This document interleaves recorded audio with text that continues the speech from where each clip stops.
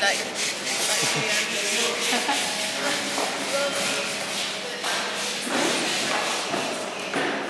hey, that's so much people in here.